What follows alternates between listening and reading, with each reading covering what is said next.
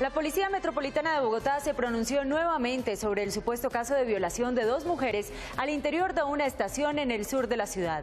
Según las autoridades, los resultados de medicina legal desmienten la versión de dos mujeres que aseguran haber sido abusadas por un oficial de la policía. La Policía Metropolitana de Bogotá abrió una investigación disciplinaria en contra del uniformado que presuntamente había abusado de dos mujeres en un CAI de la capital. Desde el mismo domingo se, aperturó una investigación disciplinaria paralela a la parte penal. En este momento se nos refiere de que ya salieron los dictámenes de medicina legal, están en manos del fiscal de conocimiento y estamos esperando que disciplina pida traslado de este informe para que nuestro comandante de la Bogotá pueda tomar acciones frente a los hechos que pueden estar involucrando al señor capitán de la policía de aquí de Bogotá.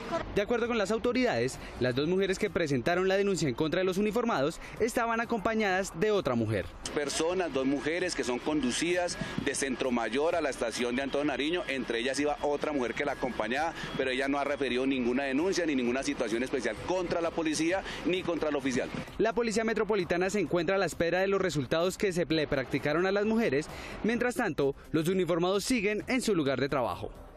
En un vistazo al mundo, el último reporte de la UNICEF sobre el conflicto en Yemen revela que por cuenta de los bombardeos en esta nación han sido desplazadas más de 100.000 personas, la mayoría niños y mujeres.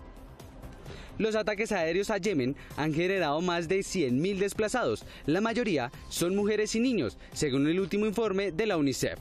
El organismo humanitario identificó cinco ciudades en las que se están concentrando los desplazados, ya que las personas se acercan a estos lugares para quedarse en las casas de sus familiares.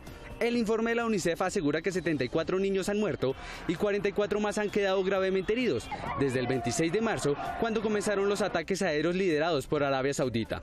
Los bombardeos tienen como objetivo desalojar los rebeldes que tienen ocupado a varios sectores estratégicos en Yemen, pero estos ataques han afectado principalmente la población civil.